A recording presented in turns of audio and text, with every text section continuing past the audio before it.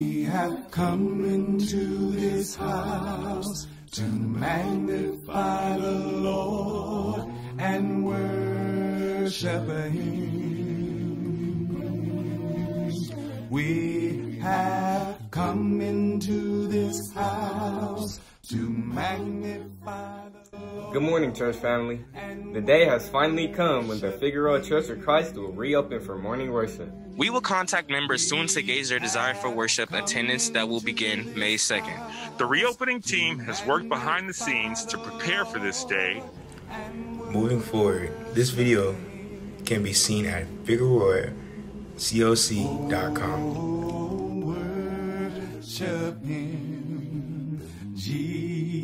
Jesus Christ, our Lord. So forget about yourselves and concentrate on Him and worship Him. So forget about yourself and concentrate on Him and worship Him. So forget about yourself and concentrate on Him and worship Him. Oh, worship Him, Jesus Christ, our Lord. Cause we have come into this house to magnify the Lord and worship Him. See, we have come into this house to magnify the Lord and worship Him. Well, we have come into this house to magnify the Lord and worship Him. Oh, worship Him, Jesus Christ our Lord. to have you with us as you do each week. You are welcome, and we appreciate you uh, joining us this morning. This is the day that the Lord has made.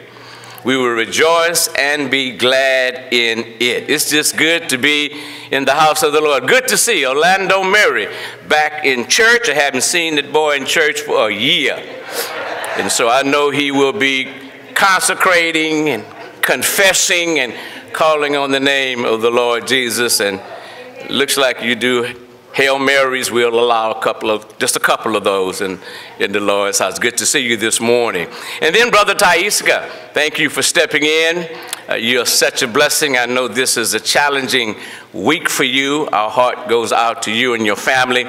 We will do all we can to facilitate uh, your mom's homegoing services in a way that would be uh, beneficial to the family and that will bring God glory. Then, of course, uh, our, our worship team, uh, under the leadership of, I mean, Brother Taiska, we're happy to have Paula. She's been consistent.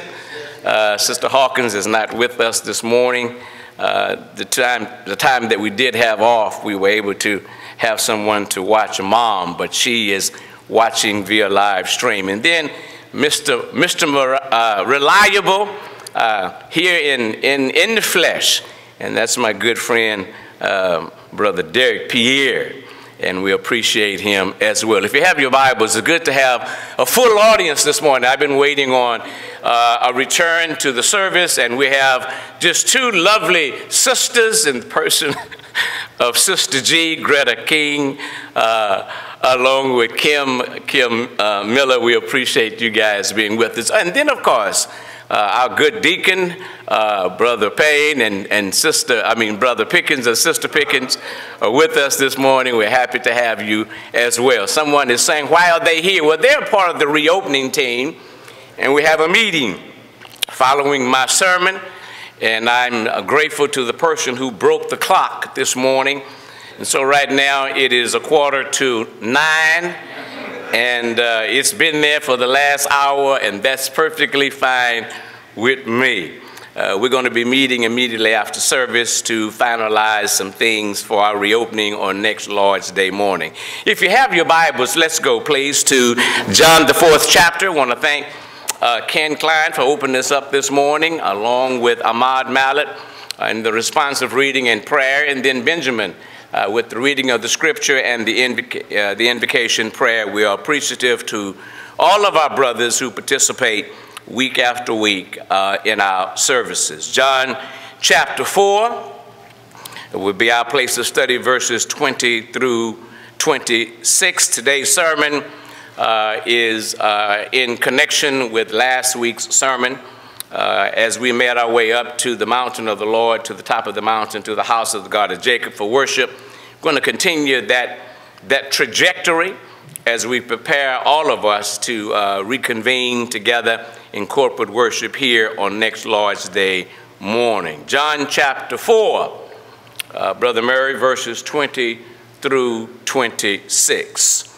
Our text finds its meaning in the context of a narrative where Jesus encounters a woman of Samaria at Jacob's well. This story is unique in that in this encounter, Jesus addresses several long standing traditions among the Jews of the first century that involve race, gender, class, and religion slash worship. It is packed with spiritual insight and doctrine on socioeconomic, cultural, and theological beliefs relative to life and godliness. We're reminded of this in 2 Peter chapter 1 verse 3 that as his divine power has given us all things that pertain to life and godliness through the knowledge of him who called us by glory and virtue. Emphasis on knowledge. That's important when it comes to worship, which is the case in this particular text. This knowledge, it is this acquisition of knowledge about worship that concerns us this morning and brings us to our text as we prepare to reopen our facility on next Lord's Day, May 2nd. And if you will, go up to the mountain of the Lord, to the house of the God of Jacob for worship. It is in this text we find a woman of Samaria. Many of you are familiar with this story. She now pivots from private and personal and a very sensitive subject about her own life. She moves away and focuses in on the place of worship, which is equally as important as the perusal of our own individual life. I don't want to hang out there too long, but you cannot separate the person from worship because it, it is the person that worships. And so Jesus understands what he's dealing with here. Uh, his encounter with this woman is no accident. His prophetic ministry involved going to Samaria going to the Decapolis, to those areas where non, non-Orthodox Jews live in order that they might uh, encounter the Messiah who is called Christ.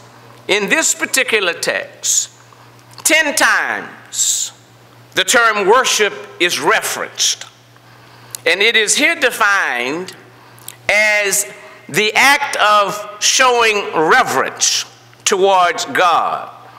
It is also defined as giving homage to a deity.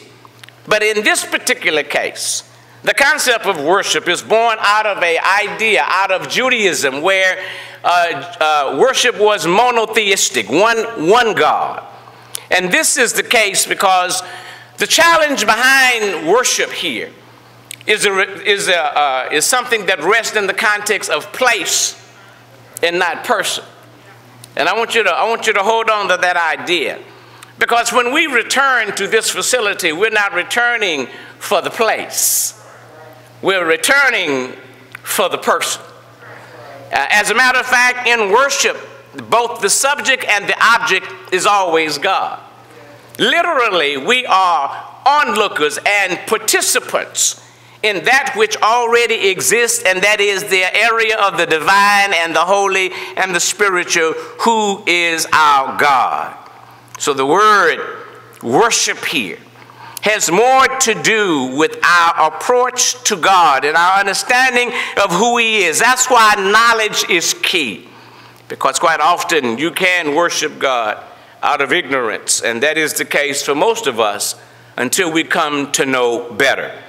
Ignorance does not suggest that you do not know, but it may suggest that you do not have the correct knowledge about what you are doing. Because this woman will remind Jesus that our people say that we worship in these mountains. Now, historically, she's talking about two mountains Mount Gerizim and Mount Ebal.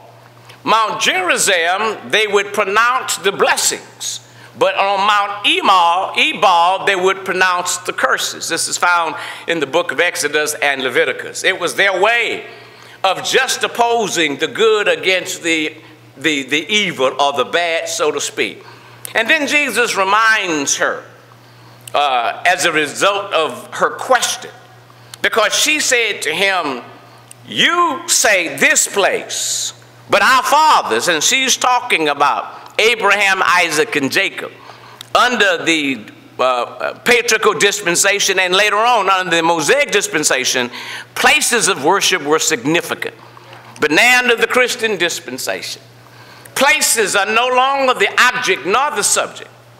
God remains to be both the subject and the object of worship. Are y'all with me?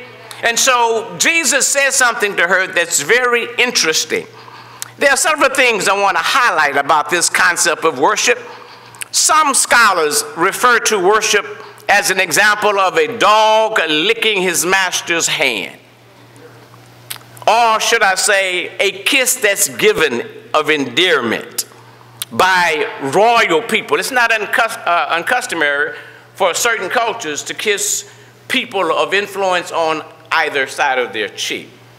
But the word here has more to do with our, our obeisance to the God of heaven, our homage, words that we don't use anymore. We use the word reverence. But I think in some cases, it needs to be attached to the term to adore, to have a sense of adoration for. That's vitally important because what good is it coming to a facility absent a knowledge of who you're worshiping. When that happens, when that happens, we have a tendency to relegate worship to human movement, to my feelings and my thoughts. I want to us, I want us literally to have our minds elevated to understand worship doesn't start with you, it always starts with God. And He's the facilitator of what you do and what you don't do and how you see Him and how you should not see Him. And that's why I want to lay out on the front that worship must and has to be spiritual. I think once you walk away from this text, you would have to conclude that worship is spiritual. That is, it's divine. It is godly. Where are you getting this from? Notice verse 24. Jesus tells this woman in the course of this discussion that God is spirit. Now, notice, it doesn't say God is a spirit. Some versions have that. And that's, uh, I think that's a mistake. Because uh, outside of God, there is no other God. So God is not a spirit. God is, in the Greek text, is spirit, all by himself. And Jesus concludes that if he is spirit, and he is, that those who revere him, those who adore him, those who have reverence towards him must worship him, get this now, in spirit and truth. Now, there's an interesting note here about this spirit and about this truth. Notice that it's not a capital S. Uh, and for a long time, I wondered why. Because it is understood that the believer is already spiritual, in a spiritual relationship. So the word here is the same word we find in 1 Thessalonians chapter 5 verse 23. The Greek word is pneuma, has to do with breath, but it's talking about one's mental disposition. In other words, you have to be sober in worship. Say amen. amen. Brethren, you have to be cognitively present in worship. In other words, you cannot have divided loyalty in worship. If God is the center of worship, then he gets all of the attention. Are you with me? So the spirit here has to do with one's mental disposition, and then the word truth comes from a word that literally references the truth of God.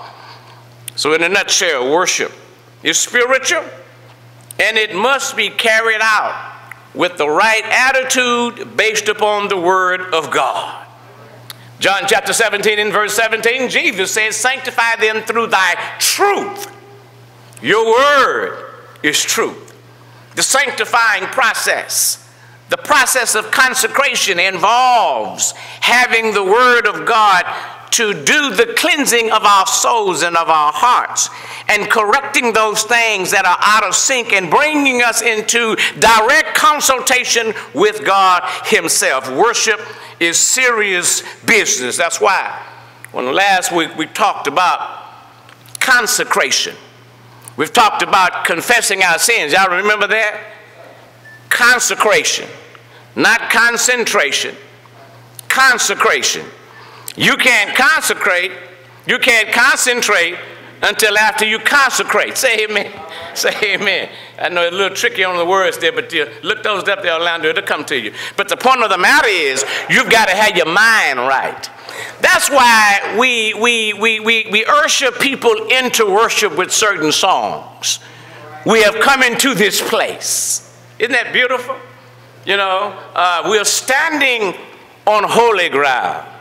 You know, these help get our minds right.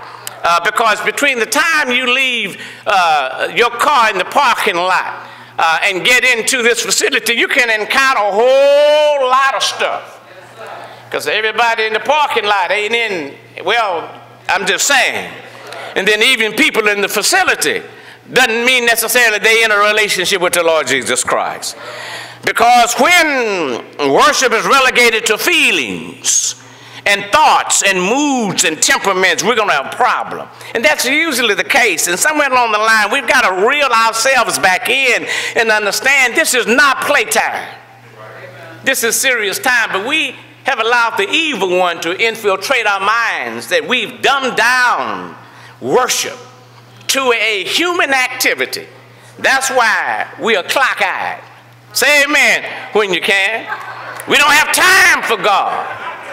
And we want to get out in a hurry and get on back to our carnal world and have him rubber stamp our worship. And we love to quote this passage at the end of service. We pray that we have worship in spirit and in truth. But that don't make it true. Because worship is not defined by what you say, but by what you do in relationship to the God of heaven. Are we making sense? Here? I'm just I'm going to get to the sermon. I got another two or three hours. The clock is still broke, but we're going to get down here. I just want to lay the foundation. And so when we talk about worship, we're talking about those individuals, get this now, who are born again by the Holy Spirit. And those who are born again by the Holy Spirit, get this now, are privileged to worship God. I want to drop by for a moment and tell you that worship is not your right.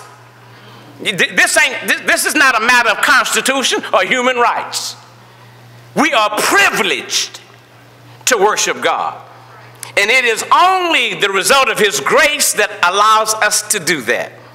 Titus chapter 3 and verse 5, for reference, Paul would say, Not by works of righteousness. In other words, Orlando, there is nothing you and I can do to merit God's attention in worship service. You can't put on the right suit.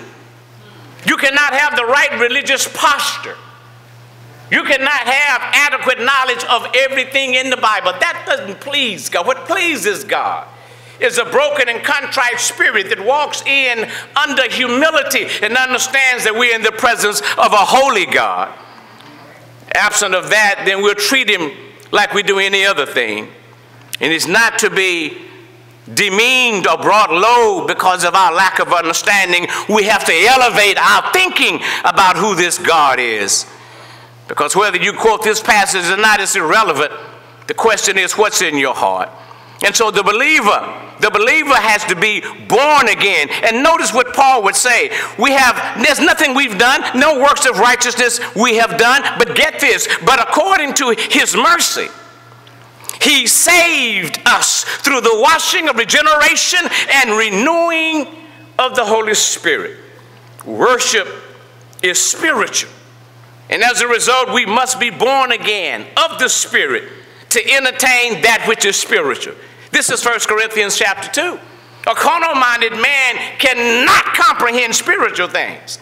That's why he's in a hurry to get out of here. He don't have the Spirit of God. I don't mean no harm. I'm not saying you guys, but he don't have the Spirit of God in him. Because the Spirit is wooed by the Spirit to hang out with the spiritual. Say amen. What, what woos you to get up out of worship and go handle your business? What spirit is that? Would God's spirit ever prompt you to get up out of his worship service and go handle your carnal business? Not that your business is not important, but when your business is more important than his business, we got a problem with your business. That, uh, that makes sense? So true worshipers are not those who are simply quoting scripture, but have an understanding what it really means to be in a covenant relationship with him. We are born again by the Spirit. John chapter 3, verses 5 and 6. You remember the discussion God had, Jesus had rather with Nicodemus, who came at nighttime.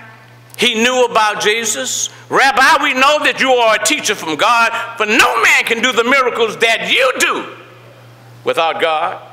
Jesus moves immediately past all the fluff and says, Nicodemus, except a man is born again, he cannot enter into the kingdom of heaven.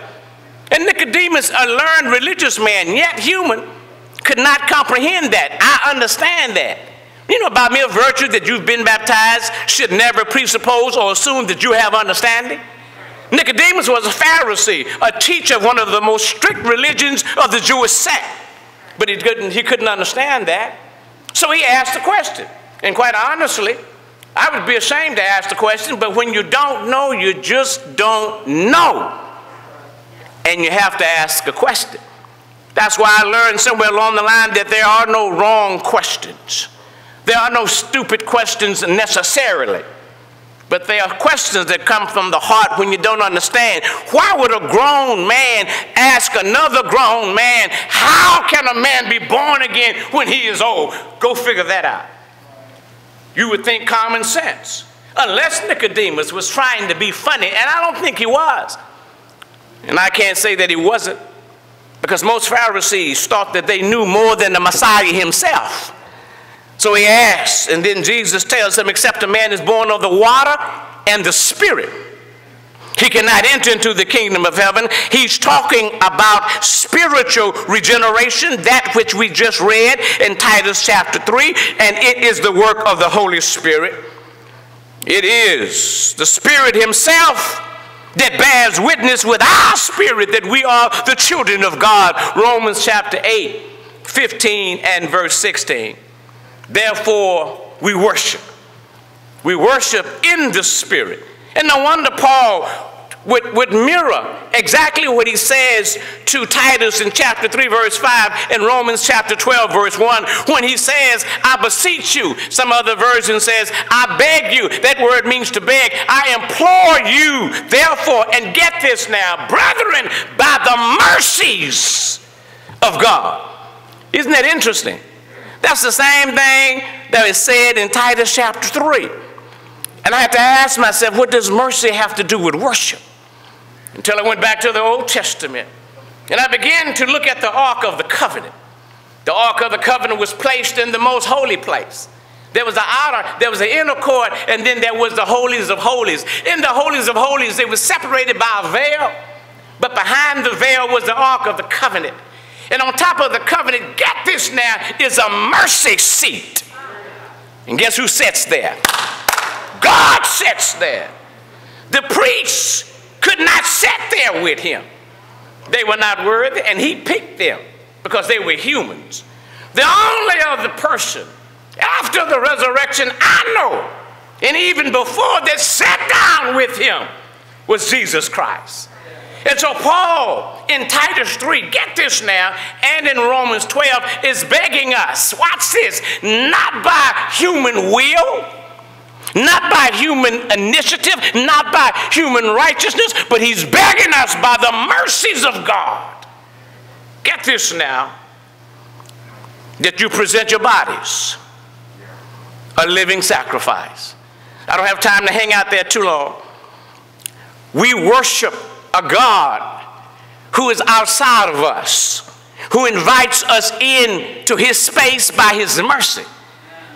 Listen now, it makes sense to me because on a good day, I'm never clean enough to come into his presence.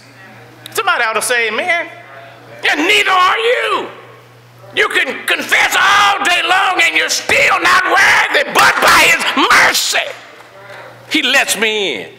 Some stuff ought to make you just run and shout. I know you ain't what you should be, but I'm going to give you my mercy.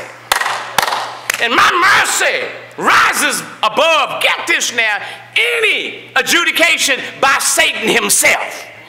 And that's why the accuser of the brethren cannot bring one railing accusation against God's people. But that's good news. And if he did, if Satan would stand before God and indict me, he would be right about me. But guess what's my saving grace? His mercy. And so he allows me to come in. And then I have the, the, the audacity, the, the old men, old folk used to say, the old preachers, the unmitigated gall to come into the house of God, wondering when we're going to get out of here. and how long you going to be. And whether or not you got anything. Listen, you come to this house expecting to hear from God.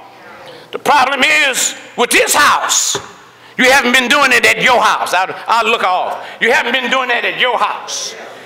And so you treat this house just like your house. You haven't been worshiping God there. And then when you come here, you want to put some, some, some tradition on it. Amen. This, this ain't, it's not about you. We are here by His mercy. You know what woke you up this morning? His mercy.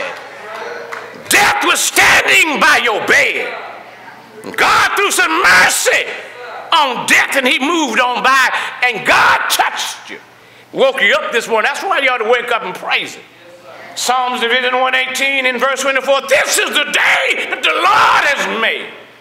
I'm going to rejoice and be glad in it. And you can't rejoice and be mad in it because rejoicing don't hang out with madness. Help me somebody. It only hangs out with gladness. What are you glad about? Everything God has done for me. Roof over my head, God did that.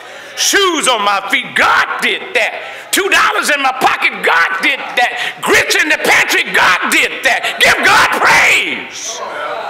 And we'll show up here next Sunday wondering who's that in my seat over there.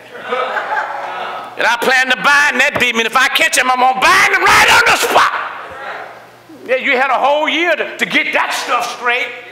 He put you in a pandemic and shut you down so you can give him some attention. So you know how to return to his house. And I don't make no pause in what I'm preaching. This straight out the Bible. The reality is some of us are still ignorant. And some have become just straight out arrogant, believing that you can run up into the house of prayer and do anything you want. I drop by to tell you that just ain't so. Say amen. Say, all that God won't fix when you get out of control, Popo will, and I will call him. Say amen. But How did that get in there? I don't know, but you needed to hear it. Because some of us believe that we are running things, and we're not. So we have these attitudes There's no gratitude. There's no gratefulness. There is no honor. And then we show up broke and, and won't give God a dollar.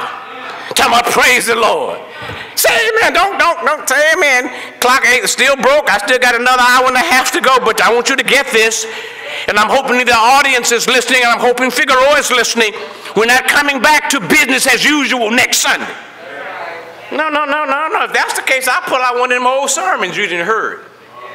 And you'll be meeting, you'll be meeting while in worship to figure out what's wrong with the preacher. It can't be business as usual. God's brought us out of pandemic. We're still here, but by His grace, He needs to be celebrated. And that's why my sermon next week is entitled, Say Amen. Say Amen. Psalms 122. I was glad when they said unto me, Let us go into the house. We're going to celebrate next Lord's Day morning if the Lord say the same. But until then, we got to work with this text. Y'all got a little more time? Now, get this now. Get this now. Paul says, I beseech, I'm begging you by the mercies of God, get this, that you present your bodies a living sacrifice. Well, don't come in here dead and ready to go to sleep next Lord's Day. That's the old you. That's what you used to do. Crack open your peanuts in the back, say amen. Pass out candy, write checks, do everything but give God your undivided attention. Then you want a blessing on the way out. Something wrong with that picture. Has more to do with what the Samaritan woman was going through. She had a knowledge of God, but it was misinformation based on traditions and teachings of men and doctrines of demons. But now Jesus says to them, Woman, an hour is coming when neither in these mountains nor, get this now, in Jerusalem. Now that's interesting because Jerusalem was the place of worship. And in this text, he says, Y'all don't know what y'all worship, but we know what we worship. Why? Because salvation is of the Jews. And Jesus is right. Even Judaism had its place, but Judaism wasn't God's plan for all mankind. That's why he gave us the Messiah. And that's why that woman said to Jesus, We know all of that, but when Messiah comes, the one who is called Christ, he's going to set things straight. And there are very few cases in the New Testament when Jesus reveals his identity. And this is one of them. Matter of fact, this is the first one. Jesus said to this woman, The one you are speaking to, I am He. I am Messiah. You know what he's saying? So, what I'm telling you is the truth. You can dismiss what the Father said. Abraham, Isaac, and Jacob and Moses, they served their, they served their time. Now, the Messiah is speaking. And then he says, You present your body as a living sacrifice. That's why, that's why we need to prepare our mind, bodies, and spirits for worship. I get up, I've gotten up for a lot of things in my life. And I got up for a lot of wrong reasons. Amen, somebody. I won't hang out there, but when it comes to the kingdom of God, the energy I had for that stuff, I ought to have it from my God. I need to get my mind right, my spirit right, and my soul right because I'm headed to the place of God. Say amen when you can. Sister Hawkins don't have to remind me what day it is. I don't even need a clock anymore.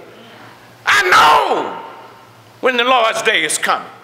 The Hebrew writer says, so much more as you see the day approaching. Two thoughts the day of worship and the day of judgment. You need to get ready for both of those.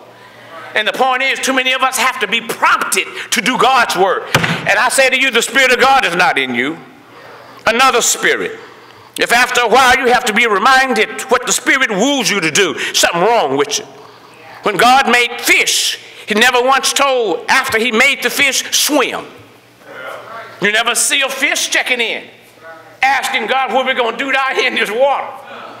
We're going to do by nature what I put in you to do. That's why Peter says in 2 Peter 1, you have been given a divine nature. And that nature is pulled along by the Spirit. That Spirit longs for spirituality and not carnality. Can somebody help me right along in here? I know about the carnal man. He wants what he wants when he wants, and he even wants his God to do his bidding. There's a wrong, something wrong with that picture. Too often we relegate men who are not spiritual to spiritual things, and that's disheartening. Never turn over spiritual stuff to unspiritual fellas and expect to have spirituality. You're going to get what you've been getting carnality. So the presentation of self is important.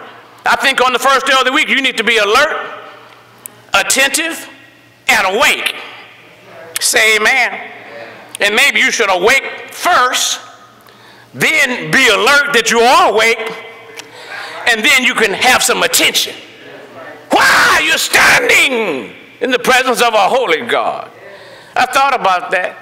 I wrote in this morning listening to a beautiful song that I love by one of our sisters who now sings it. Uh, it was, uh, I Can Only Imagine. And I thought about that this morning what it would be like to stand in his presence. And you know the lyrics of the song. Will I be able to stand it all or to my knees fall? And then it dawned on me, can I really look up at it in honesty and purity?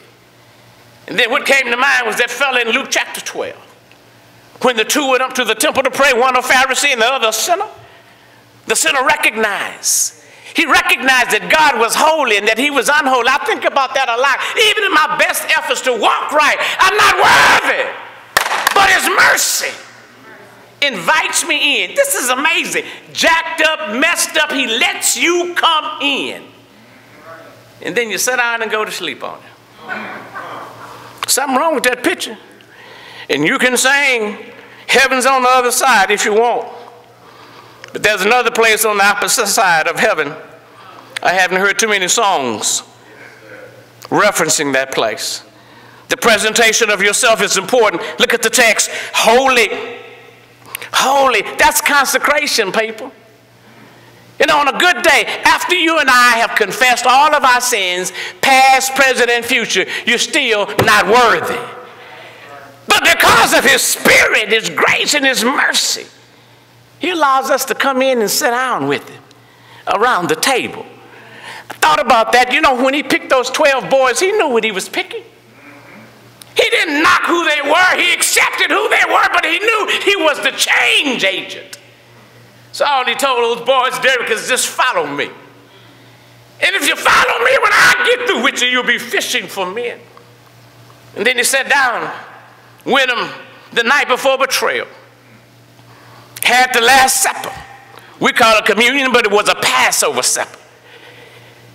And he says, One of you will betray me. In that same text, it says, I've chosen 12 of you, but one of you is a devil. And they all began to look at each other. Who is it? And Jesus says, The one who dips his hand in the dish with me. And at that time, it was Judas. And all Jesus says, Well, whatever you do, do quickly but he knew. He knew that James and John were hot headed. He knew that Peter packed a pistol, I mean a knife. He knew about Bartholomew, Barnabas. He knew the hard shells. That's why he hung out. He had to call the, the sons of thunder and Peter, y'all come with me. He didn't have to do that with Barnabas. You know, Barnabas had a spirit like Derek. Derek is just nice, even keel guy. But cats like Joe and, and, and, and, and Orlando and Hawk, we, we got to follow close by Jesus. And even then, we got beside ourselves. Mark 9, Matthew 17, when they went up to the Mount of Transfiguration, Peter got beside himself. James and John were there along with Peter, the sons of thunder. And there Jesus transfigured himself, and there he appeared with Moses, Elijah, and Jesus himself.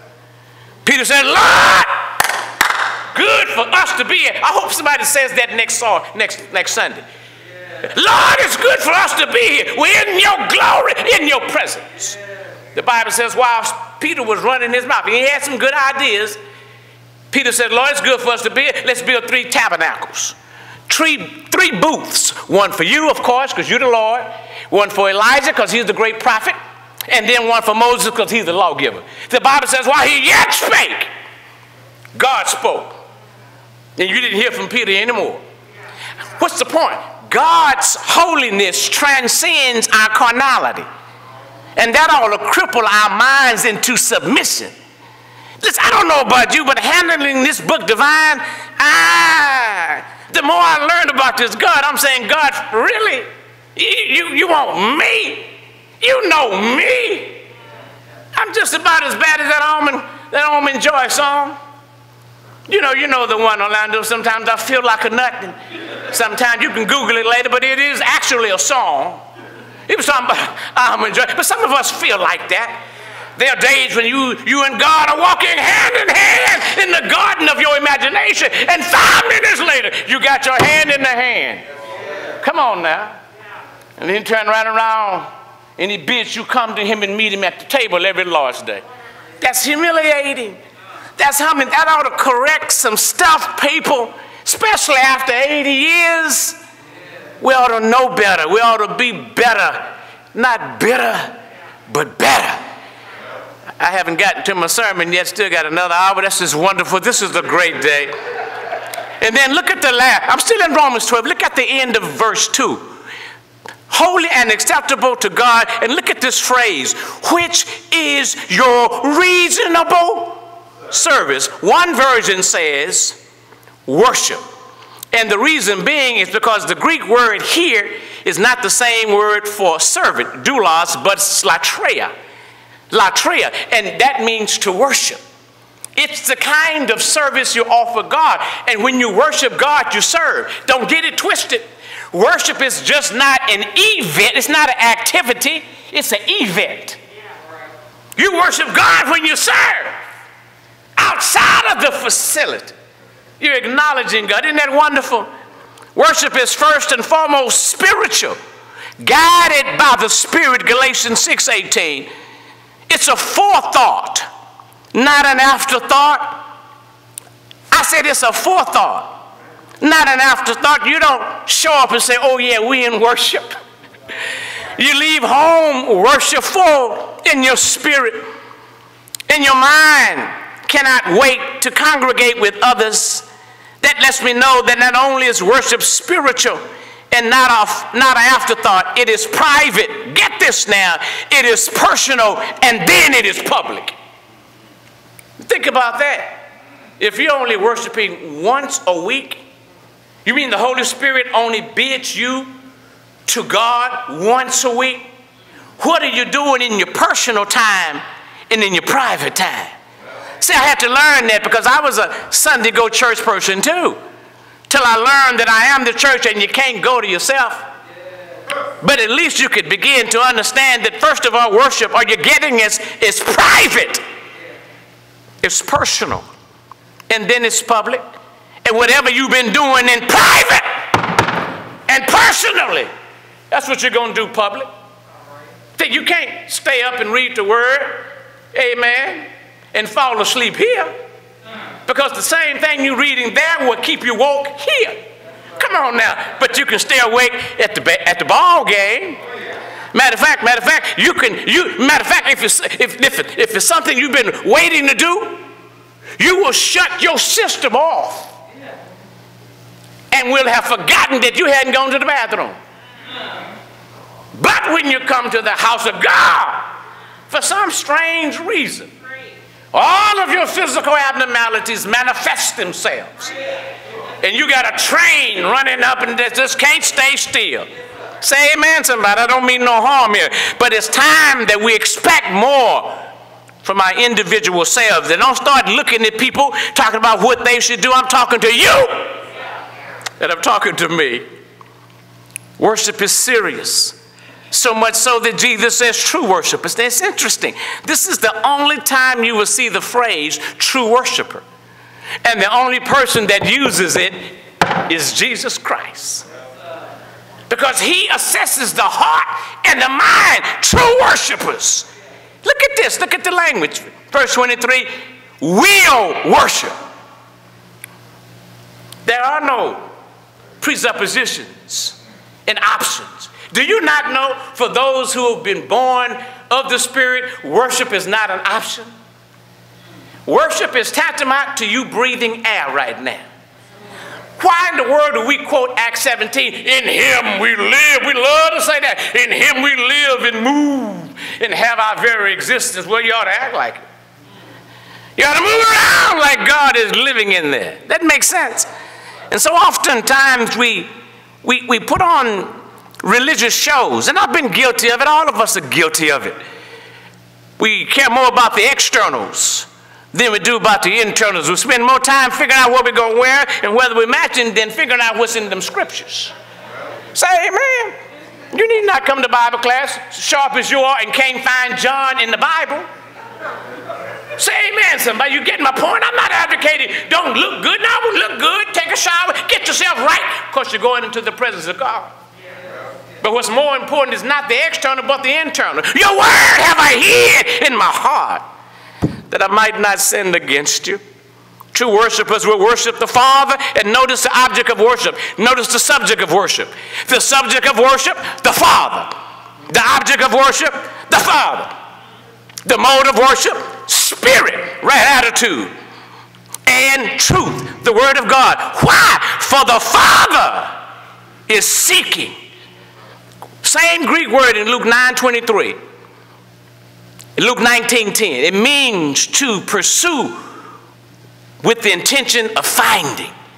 God is looking for people with the right attitude, the right mental disposition, based on my truth to worship me. That's what verse 23 is about. And Jesus says it true worshipers will worship the Father in spirit and truth, for the Father is seeking such to worship him. True worship is in the spirit and truth of God's word. Now, my little sermonette, and I'll let you go. Therefore, true worshipers, number one, they know God. Number two, they are known by God. And number three, this is important, they acknowledge God. There's no way in the world you can come into worship and not acknowledge God. And hear me now. This foolishness about you better be glad I'm here, you better watch yourself with that thinking and even speaking. I wouldn't even tell anybody that. Because the same God you're saying that to could snatch what breath you have out of you. And then you got to deal with him. So you be careful how you come back here, assuming it's going to be the way it used to be. If it is, we in trouble. Because we know who we're going to get from you. That pandemic should have broke us, broke us all down. We should be humbled and humiliated that God sustained us in the midst of it. Didn't take our lives. So come on now. A lot of people are suffering even today, and we're still in the pandemic, but yet God, God has blessed you. God has blessed me. I thank Him. I'm so unworthy, but every day, every Sunday for the last year, He let me come. I decided if I'm going to show up, I'm going to give Him my best. I know I'm not His best, but I'm going to try to give Him the best I bring to the table. So I'm not going to cut God short, and I'm not going to cut my sermon short so you can shortly get out of here. I'm not doing that. Either you coming for the right reason or you're coming for the wrong reason, and God will judge that. I'm responsible to the God of heaven, and I have a fiduciary responsibility to you to feed you the manna that comes from God Himself. So everyone who worships God must know God. Verse 22, Jesus reminds us that worship is about seeking what the Father wants. And this is interesting. I hadn't seen this at first. For the Father is seeking. Why pray, Your will be done on earth as it is in heaven, but don't apply it to worship? What is God's will in worship? That you worship, first of all, privately, that you worship personally so that when you come publicly, you are teaching others by your worship. I'm going to hang out there for a moment. Can you imagine how much false doctrine you've taught in this building through your worship? By saying it's not important, you don't have to listen to him. If you never like me, you better listen to this word. Jesus said in John 12 and verse 48, He that rejecteth me and receiveth not my word hath one that judgeth him. Watch this now, the words that I have spoken unto him will judge him in the last day. You may not like me, but learn to love God.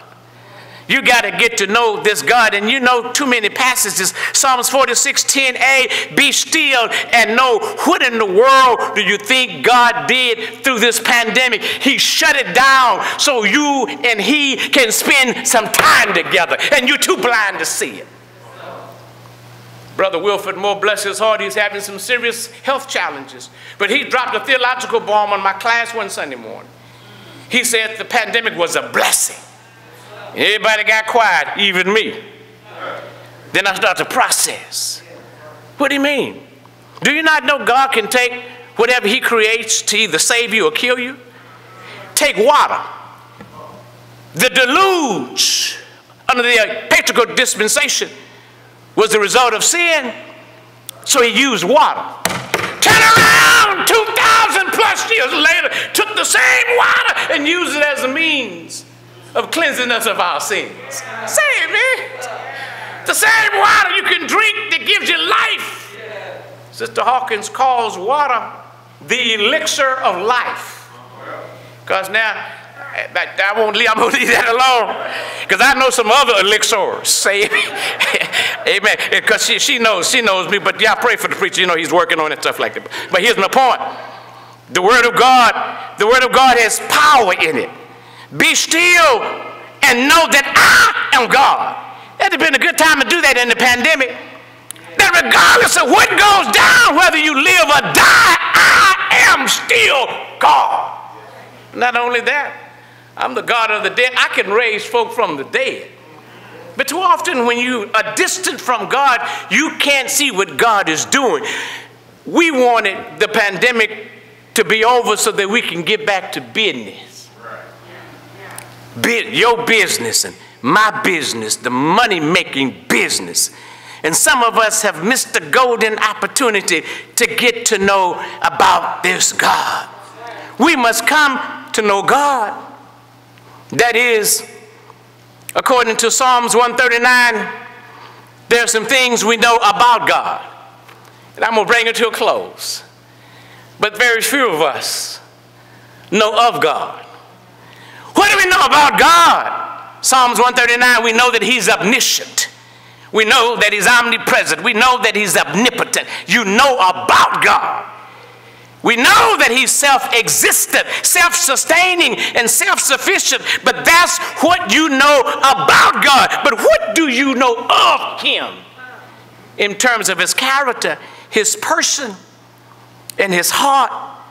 This is where Exodus 34 6 is important when Moses wanted to know this God that had called him up to the mountain and sent him out to the wilderness, he needed a close encounter with the divine. He needed reassuring.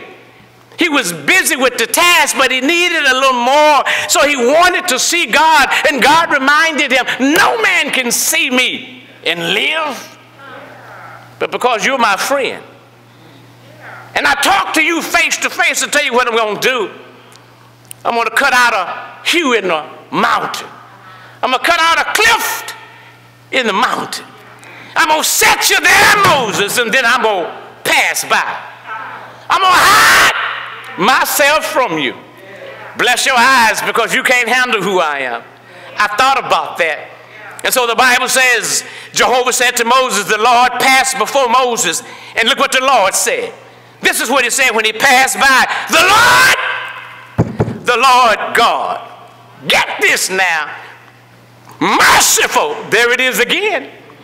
Gracious, long suffering, abounding in goodness and truth, keeping mercy for thousands, forgiving iniquity and transgressions and sin, and by no means clearing the guilty. This is what it is to know of God.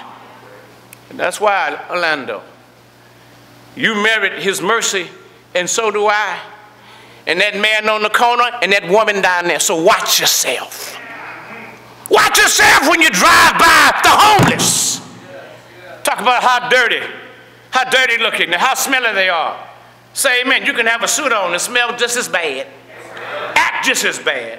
You see, the closer you get to God, the first thing He starts working on is not your neighbor, He starts working on your head.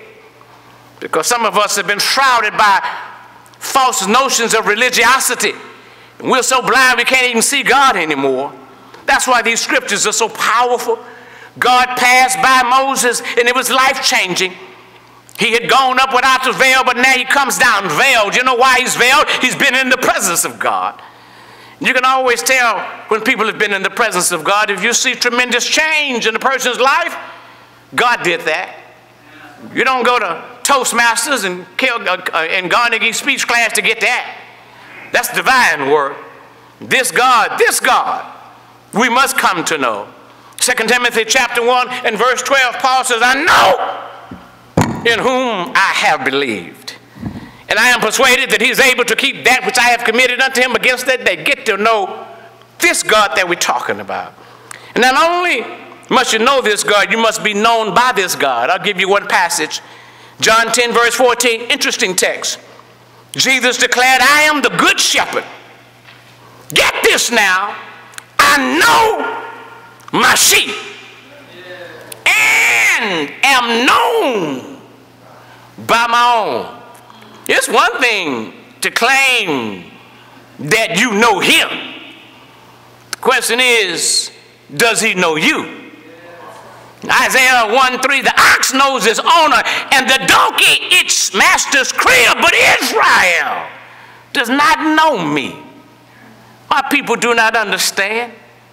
And then I heard Jesus say in Matthew 7 22, Many will come to me in that day. Have we not prophesied in your name? Have we not cast out demons in your name? Have we not done many wonderful works in your name? And I would declare to them, I never knew you. One thing you can't do in worship is bring your religious calendar of things you've done. God already knows. Matter of fact, He knows more about what you have not done than that which you claim you have done. You can't play God, you can play us, but you can't play God. He can say, I never, what do you mean you never? I've been at that church all my life. My grandfather, and people love it, they love to pull out that heritage card on me. I mean on you. Well, so and so, laid the first brick. Well, good, good, good, good, good, good, good. I never knew you. Then I thought about myself. Lord, I've been preaching all of this time. Say, say amen, amen. And I, I, I, me, me, me. I never knew you. And I thought about this. Why have you been preaching, Vincent?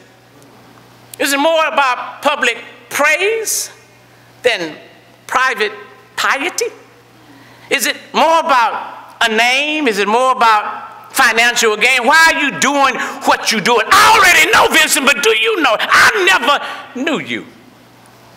Lord, I've traveled out of the country for you. Get up every morning, I, I do.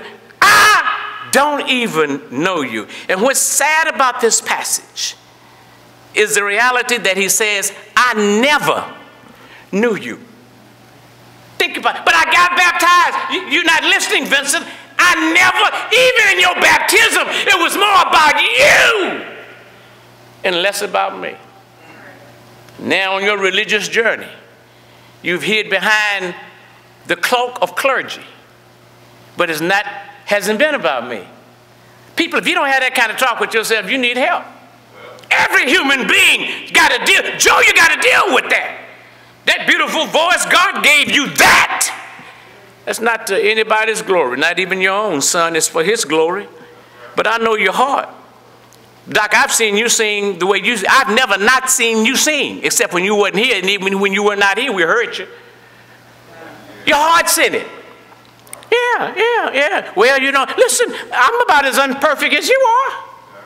So I'm not going to show up and not show out for God and then act a fool every place else.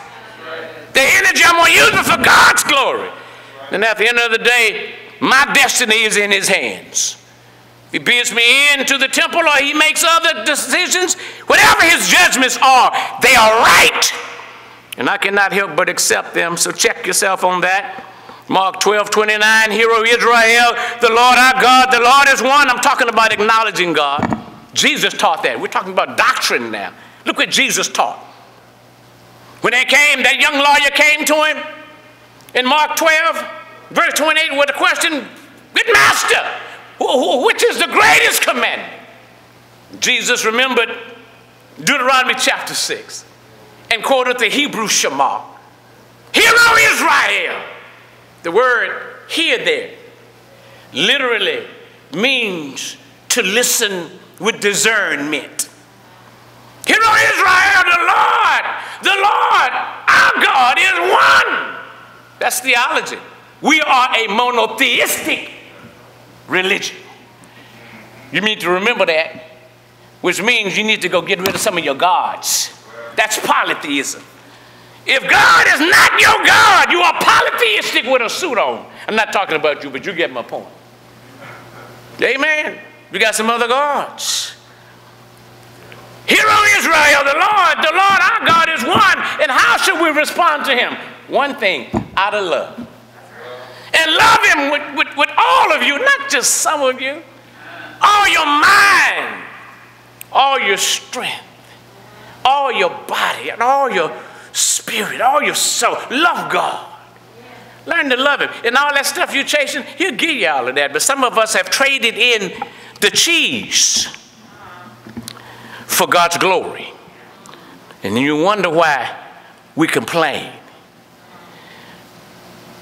The humanity in which we find ourselves is torn and tattered. We are in a bad way. Now I'm not going to dress it up. I know people want to hear good, good, you know, positive words. Well, listen, there's time for positive words and there's time for positive truth. Truth of the matter. You want to determine how humanity is? Look how it treats itself. And what's your assessment now? And if they treat him like that, if they treat us like that, how do you think they feel about God? Because if they knew who he was, like Jesus, they could deal with the woman's issues of race, gender, and class. Jesus never once pushed back on that. All he told this woman, if you knew who it was that was talking to you, he would give you water, living water. And when that woman heard about that living water, first thing came to her mind was herself. I don't blame her. Give me some of that water. And you know why she wanted it? So she wouldn't have to come back down to that well in shame because of the other sinner women who thought they were less sinful than she was. Listen to that foolishness. All of them are sinners, but now she's more of a sinner. Why? She's had five husbands, and the one she's with is not hers. Well, let's bring it on home. Some of you got five gods, and the God you with ain't even your God. No, no, don't, don't get descriptive. This stuff is designed to pierce the soul. Because I guarantee you, the only person I have to prove myself to is the Almighty. And even then, I'm begging for His mercy. Maybe you're here this morning and you are evaluating your worship to God. Then I've made, I've made some progress. Because if you're not thinking about your own worship, then you've missed this message. We've got to get to know God, be known of God, and then to acknowledge Him. Isaiah 45 and verse 5 I am God, and beside me there is no other. Say amen. Well, if you're here this morning, you need to respond. We ask that you would do so.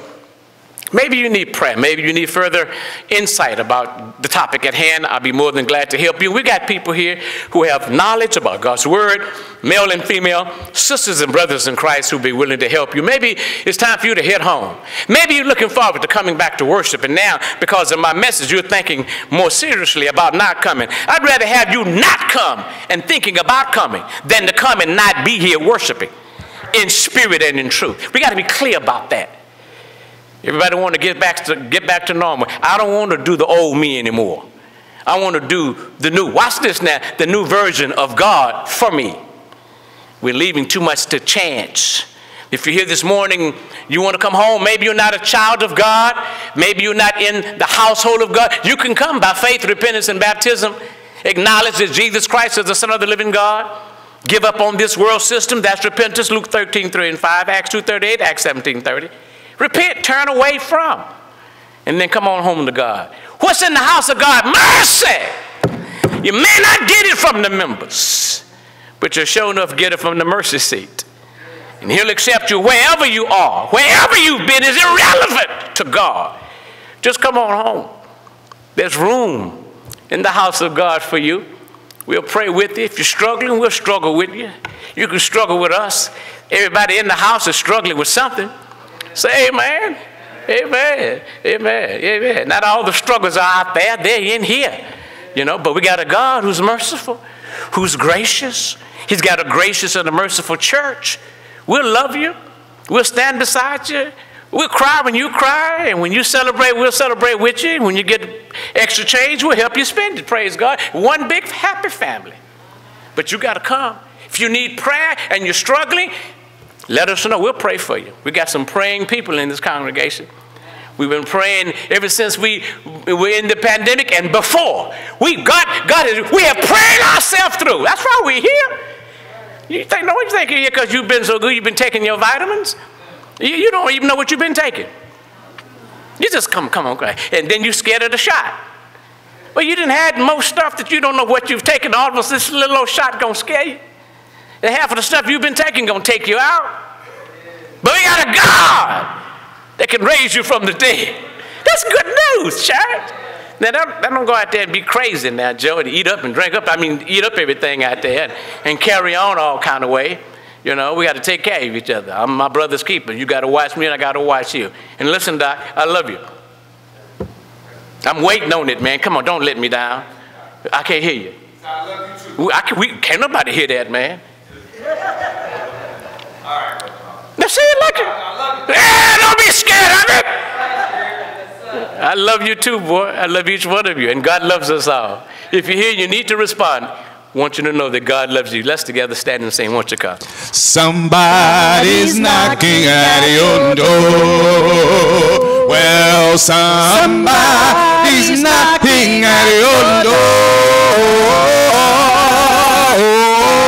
Oh, sinner, now why don't you answer? Somebody's knocking at your door. Well, he knocks like Jesus. Somebody's knocking at your door. I said he knocks like Jesus. Somebody's knocking at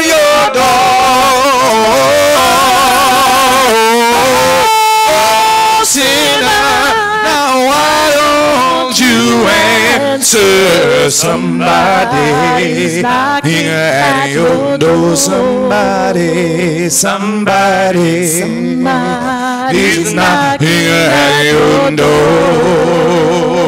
Well, somebody's knocking at your door.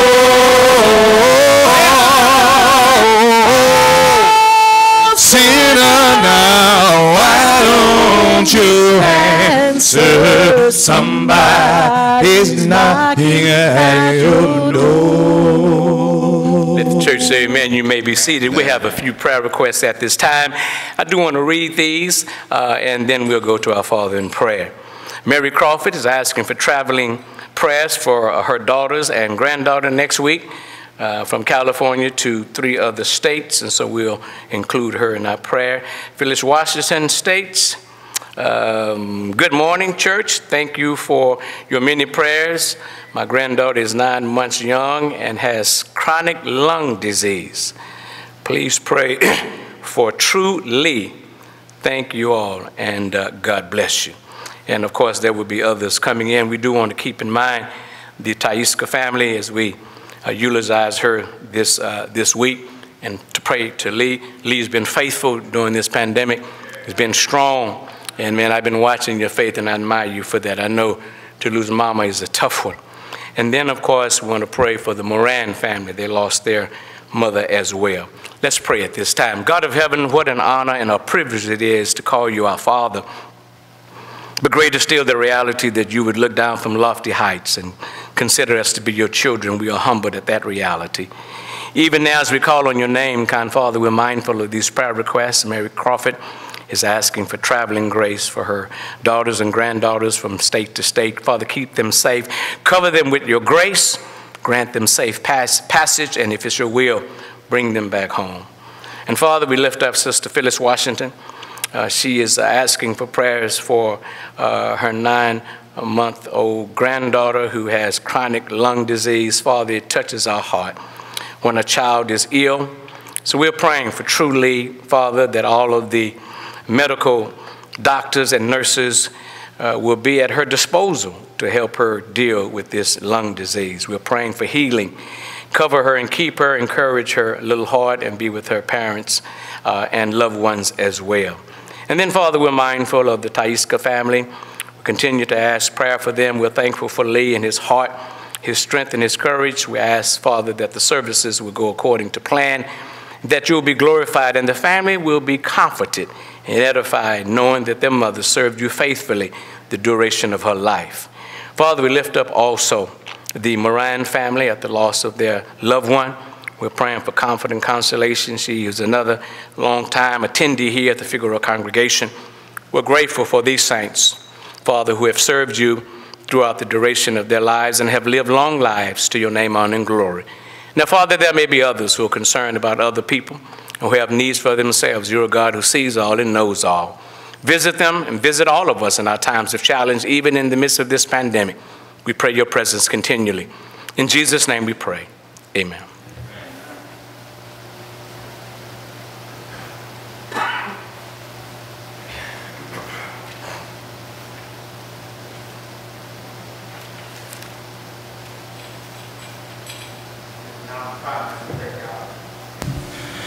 To remember the death burial.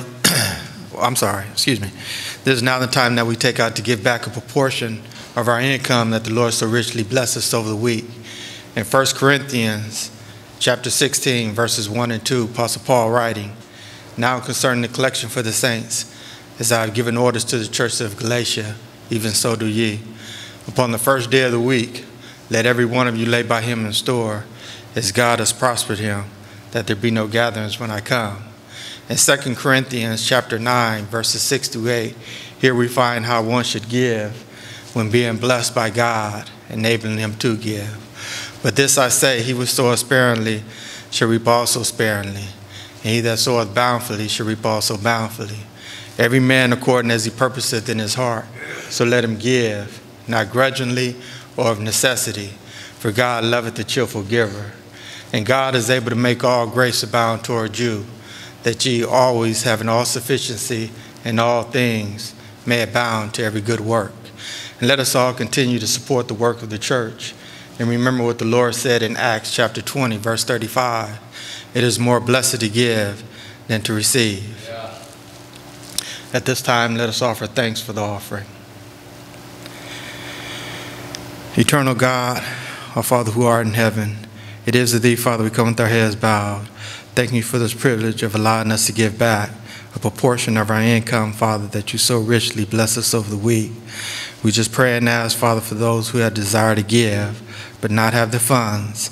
We just pray and ask, Father, you help them to be able to give at the next appointed time. And we also pray, Father, for those who are dispersing these funds. We just ask, Father, you allow them to be carried out in a way that's pleasing and acceptable in thy sight. This we do pray and thank thee, Father. In Jesus Christ's name. Amen.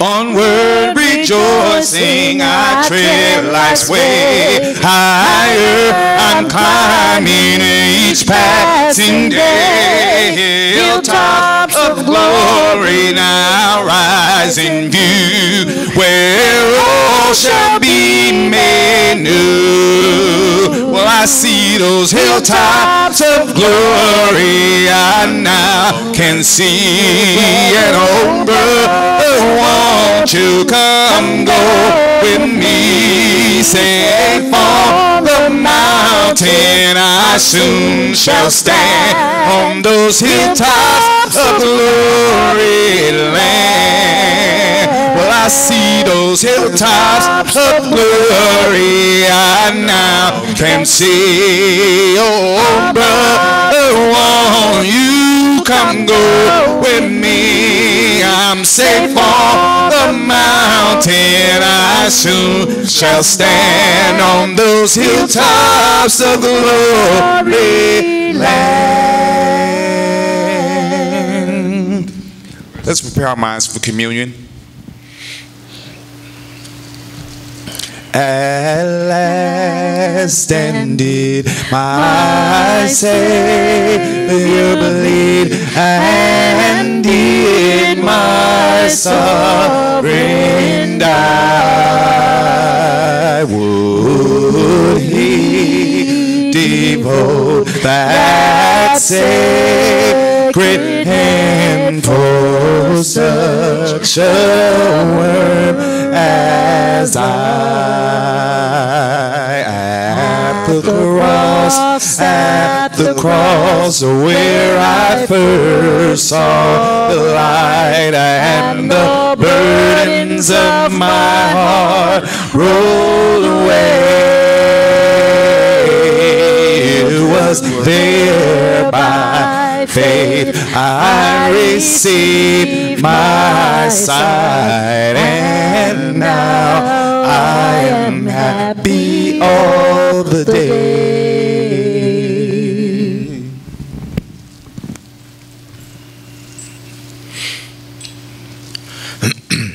Let us always be mindful of the death, burial, and resurrection of our Lord and Savior Jesus Christ.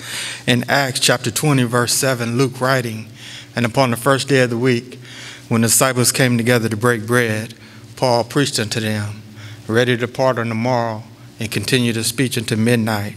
In 1 Corinthians chapter 11, verses 23 through 29, Apostle Paul writing, For I have received of the Lord that which also I delivered unto you that the Lord Jesus, the same night in which he was betrayed, took bread. And when he had given thanks, he brake it and said, Take, eat. This is my body, which is broken for you. This do in remembrance of me. After the same manner also he took the cup when he had supped, saying, This cup is the New Testament in my blood. This do ye as oft as ye drink it in remembrance of me.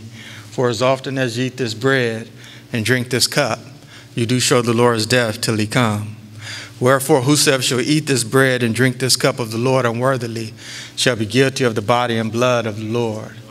But let a man examine himself, so let him eat of that bread and drink of that cup. For he that eateth and drinketh unworthily eateth and drinketh damnation to himself, not discerning the Lord's body.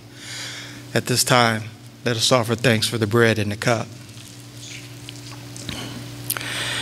Eternal God, our Father who art in heaven, it is to thee again, Father, we come with our heads bowed. Thank you for this privilege of allowing us to gather around your Son's table to be partakers of this bread, Father, which represents your Son's precious body, and this cup, which represents your Son's precious blood. We just ask, Father, allow our minds to go back to the cross and remember your Son, Jesus Christ, how he came, lived, and died, and shed his blood for all mankind. This we do pray and thank thee, Father. In Jesus Christ's name, amen. At this time, let us take of the bread and the cup.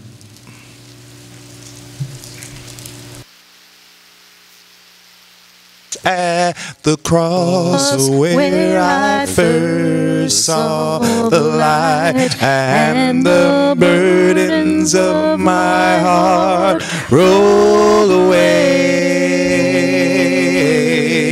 It was there by faith received my sight, and now I am happy all the day.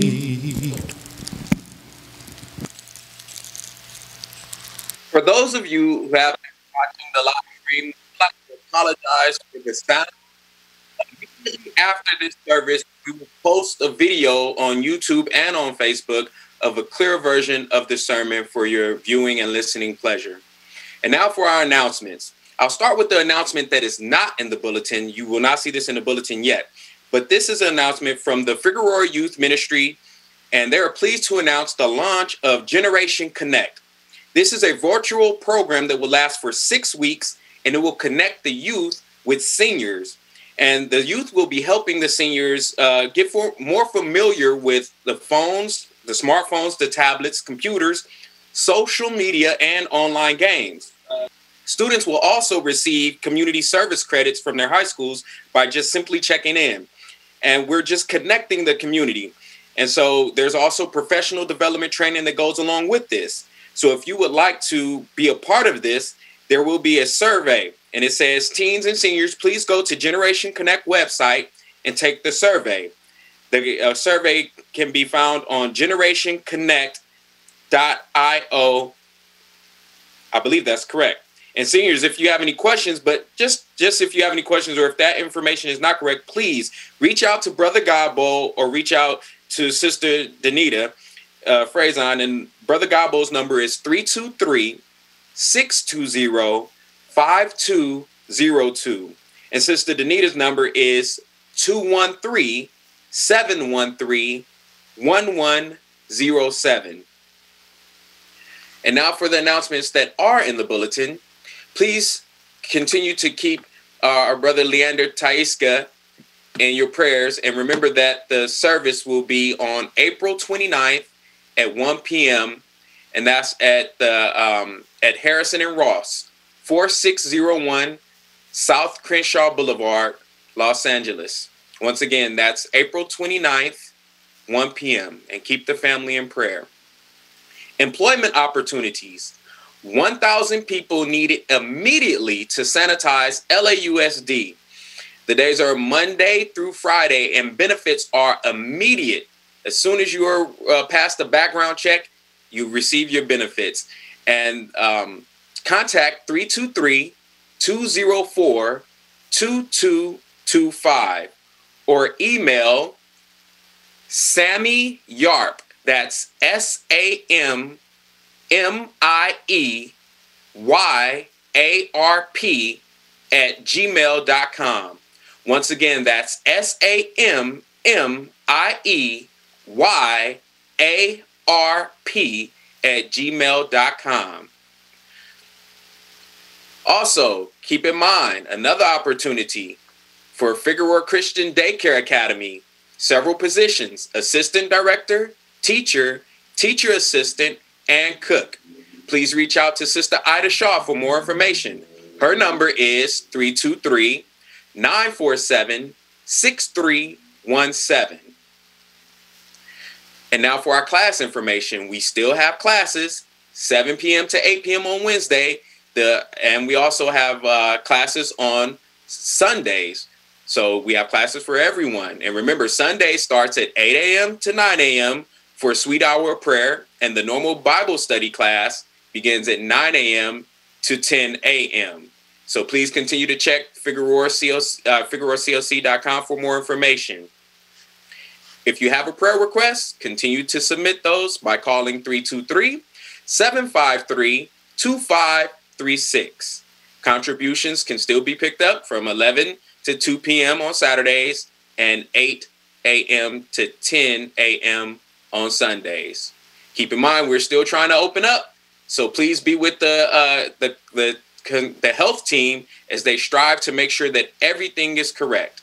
If you received anything in the mail from the Church of Christ, please sign and return it so we can uh, know exactly what we're dealing with on the day of opening. And I'll turn you back over to our minister, Brother Hawkins. Mud and um, all of the information that he has shared can be viewed on our website at FigueroaCOC.com. I want to thank once again uh, the virtual community that listens to our messages and participates in our worship services.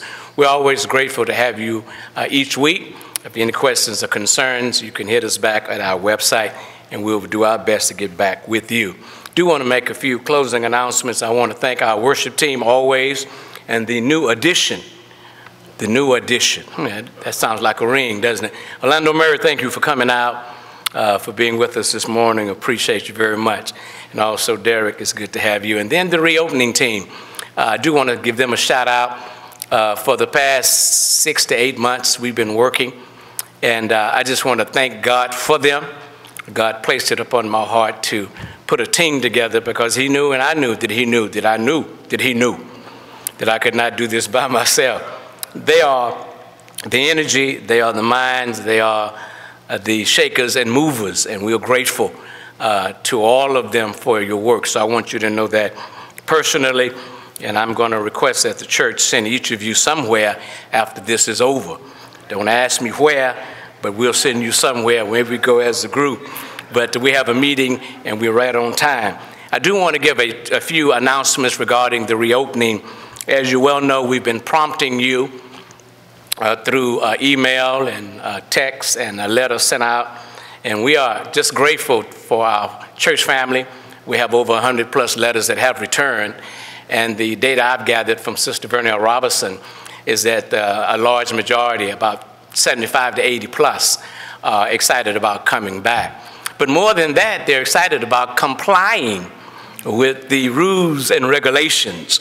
Uh, and while I'm up here, masks will be mandatory at all times with the exception of taking your communion.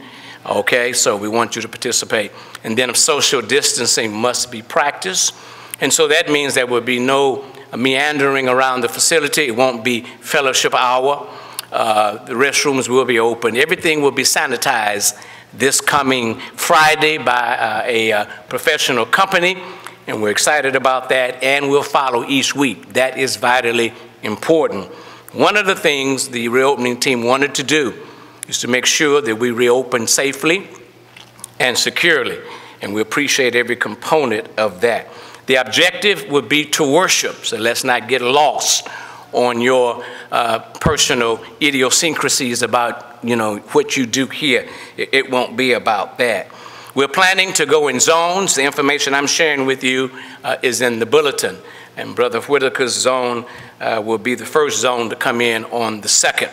And we are preparing for a capacity of 50 people. There will be some, uh, of course, some, uh, some working with those situations where individuals have gotten some misinformation. We won't turn anyone, anyone away, but we're asking you to comply to coming with your zone. We're going to do this each week. After May 2nd, May 9th, Oscar Ward Zone, May 16th, Reuben Barkin Zone. May 23rd, Cecil Godbout Zone. And these are the zones that have been designated right out of the zone ministry. And so we appreciate Vernell uh, coordinating much, much of this for us and the response that we've gotten has been positive.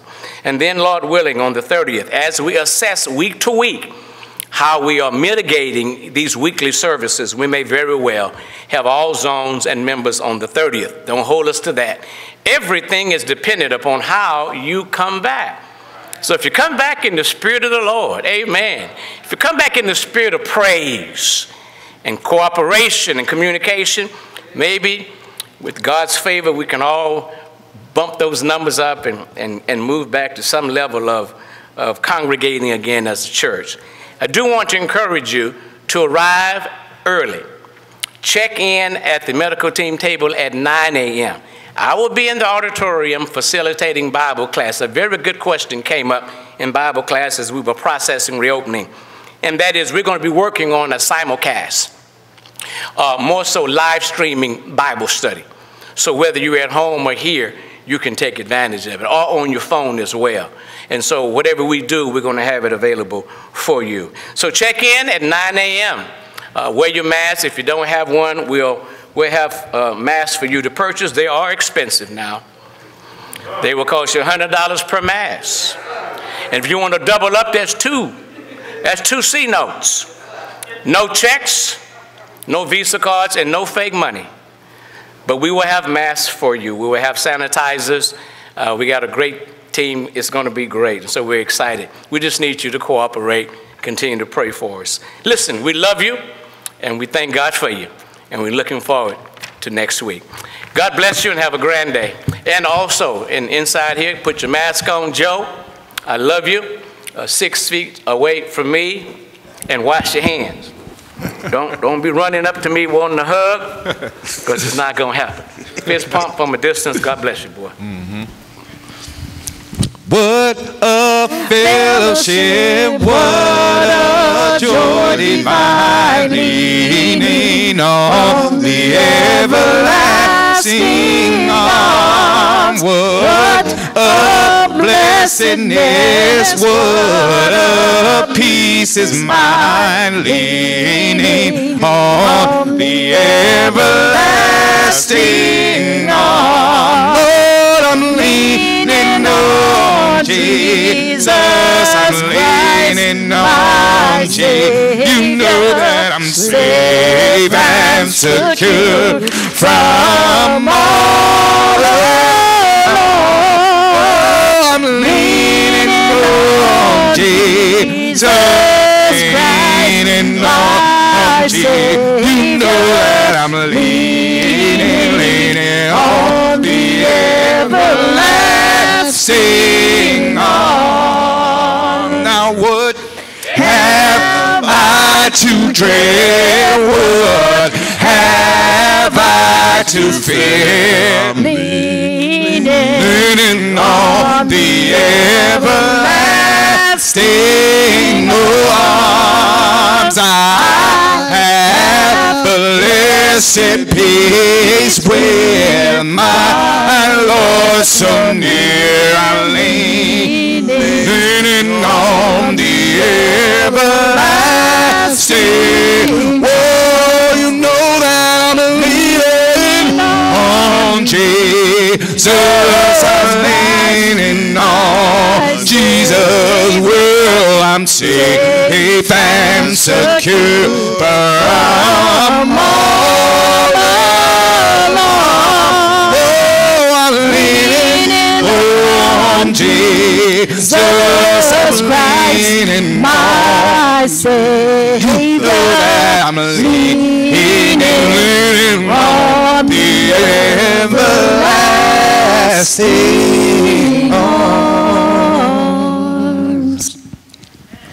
Let us pray. Shall we pray?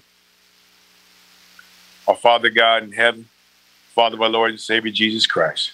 Dear Lord, we thank you for allowing us to come here and worship you today in spirit and in truth.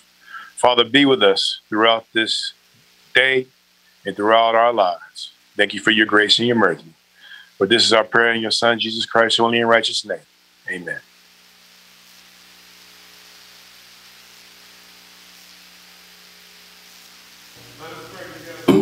Into this house to magnify the Lord and worship Him.